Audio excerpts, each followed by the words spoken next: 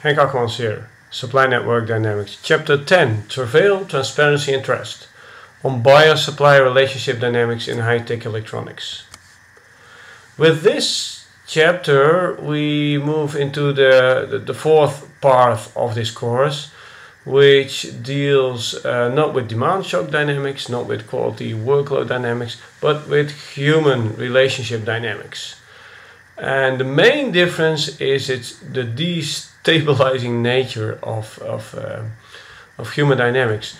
Uh, both in the demand shock and in the workload uh, quality examples, there was always negative feedback. There was always some uh, attempt to regulate something to move performance towards a certain goal, either explicitly by the managers at uh, stake. So there's a required capacity, there's a current capacity, and you try to bring the current capacity towards that goal of the required capacity, or uh, more or less by the outside world. So there's a, a, a, desired lead time for customers, there's the actual lead time, and they will try to do something about it.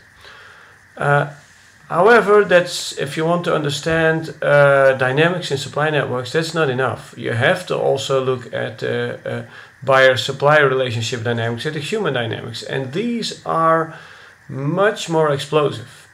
They are much more explosive uh, in the sense that things can go wrong quite easily because they all involve reinforcing feedback loops that will either go on and on and on or will go down and down and down. These are often relationship spirals as they're often called.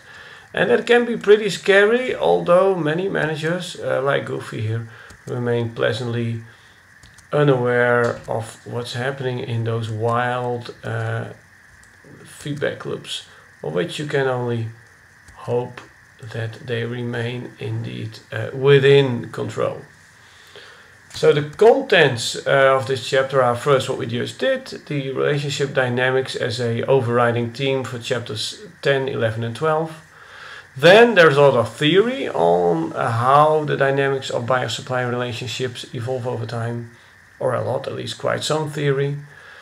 We then, moved to the case setting, which is uh, set at Philips Electronics in uh, 2000, 2002, 2004, you could almost say on collaborative planning uh, for the business, the then explosively growing business of uh, uh, optical storage media, DVDs, CDs, etc.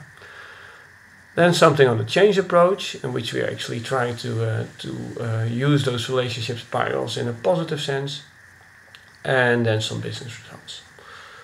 Okay.